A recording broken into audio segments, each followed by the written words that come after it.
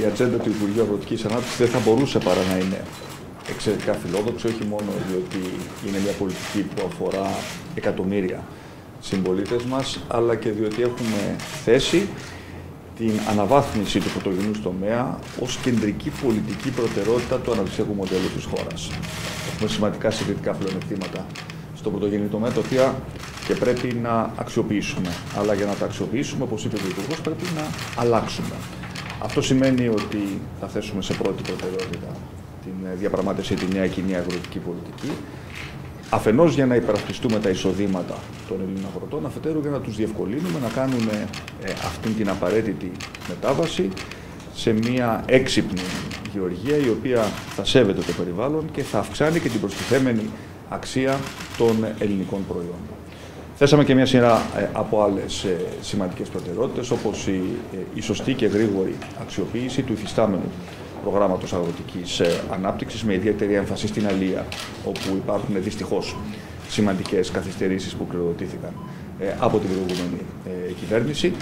Το νέο νόμο για τους συνεταιρισμούς, ο οποίος εντάσσεται στα πρώτα 10 νομοσχέδια τα οποία και θα ψηφίσει η κυβερνητική πλειοψηφία μέχρι το τέλος του έτους, έτσι ώστε να κάνουμε την ε, συνεργασία των αγροτών, ε, τις ονέωσης παραγωγών, τα νέα συνεταιριστικά σχήματα πιο εύκολα, λιγότερο γραφειοκρατικά και να τους δώσουμε και τα απαραίτητα φορολογικά κίνητρα ώστε να ενθαρρύνουμε τους αγρότες να συνεργάζονται μεταξύ τους. Και βέβαια σε απόλυτη πρώτη προτεραιότητα το έθεσε ε, ως προτεραιότητα και ο Υπουργός ε, το ζήτημα της ε, αντιμετώπισης των παράνομων ελληνοποίησεων, όπου θα είμαστε εξαιρετικά ε, αυστηροί ε, με όσους θέτουν σε κίνδυνο ε, το εισόδημα των Ελλήνων παραγωγών, αλλά ταυτόχρονα κοροδεύουν και τους ε, καταναλωτές εμφανίζοντας προϊόντα τα οποία δεν είναι ελληνικά ως ελληνικά προϊόντα. Και είμαι σίγουρος ότι σε συνεργασία με το Υπουργείο και όλοι οι ελεκτικοί φορείς θα αντιμετώπισουν το πρόβλημα αυτό στην ρίζα τους και θέλω ε, και εδώ πέρα να στείλω μία, να, να κάνω μία ε, προειδοποίηση προς όλες και προς όλους ότι τα πράγματα στον τομέα αυτό θα αλλάξουν. Γνωρίζουμε ε, πώς λειτουργούν τα κυκλώματα και θα τα αντιμετωπίσουμε.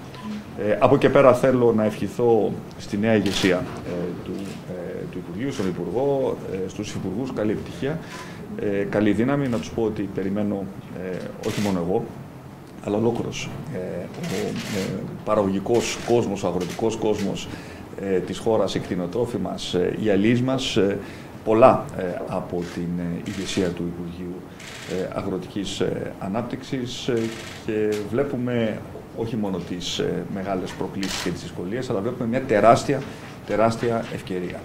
Ε, ένας ε, ανταγωνιστικός ε, πρωτογενής τομέας που θα παράγει ποιοτικά προϊόντα, μειώνοντας ταυτόχρονα και το κόστος παραγωγής, στην πρώτη γραμμή του αναπτυξιακού σχεδίου για το μέλλον της χώρας. Και πάλι συγχαρητήρια, καλή δουλειά σε όλες και σε όλους.